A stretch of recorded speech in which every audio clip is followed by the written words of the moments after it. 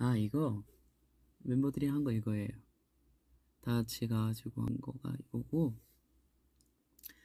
저번에 제가 말씀드린 적이 있었던 것 같은데 이게 원래 뭔가 마이크를 잡았을 때 여러분들한테 여기 여기 있어요? 이렇게 얘기하고 싶은 건데 손이 작으니까 마이크를 잡으면 이게 안 보이더라고요 이게 손이 이렇게 노래를 해야 보이는 거예요.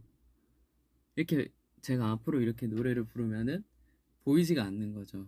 되게 얇은 마이크를 써야 되나 봐요 저는. 손이 작아서.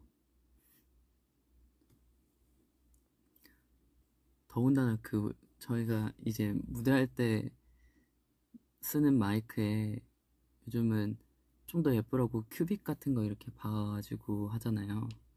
그 크기가 더 커진 거예요. 안 그래도 마이크가 제 손에는 큰데